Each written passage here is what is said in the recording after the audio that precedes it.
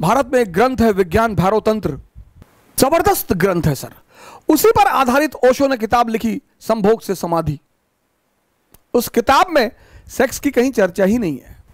शंकर जी का बड़ा संबंध रहा, नशे से मैं बड़ा इस मामले को लेकर बड़ा चिंतित रहता था कि यार, भगवान का नशे से क्या? ये क्यों धतूरा चढ़ाते हो इस पर क्यों भाँग चढ़ाते हो? सर, उसका बड़ा आध्यात्मिक महत्व है। उसका इतना आध्यात्मिक महत्व है कि अगर हमारे देश का आदमी समझ जाए उस बात को, और वो सबके लिए है, सर, मन दो चीज़ों से काबू में आएगा। या तो नशे से, या ध्यान से। और शंकर जी का संबंध दोनों से है। मज़ेदार बात देखिए, प्रथम योगी माने जाते हैं विश्व के, ब्रह्मांड के। मन जो है, वो दो चीज़ों से काबू में आएगा। एक तो नशे से, पर नशे से वो कुछ समय के लिए आएगा।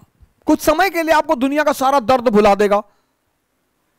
चार घंटे, पाँच घंटे, छह घंटे, लेकिन छह घंटे बाद वो फिर ज़िंदा हो जाएगा और और दर्द हो जाएगा। फिर जब और दर्द हो जाएगा तो व्यक्ति फिर और नशे की तरफ़ भागेगा। फिर ऐसा हो जाएगा कि वो नशा उसे मार डालेगा। तो वो नशा, वो धतूरा, वो भाँग, वो गांजा, ये जितनी भी नशे की चीज़ें हैं, ये भोलेनाथ पे चढ़ाई जाती है कि प्रभु, ये तुम ले लो और ध्यान हमको दे दो।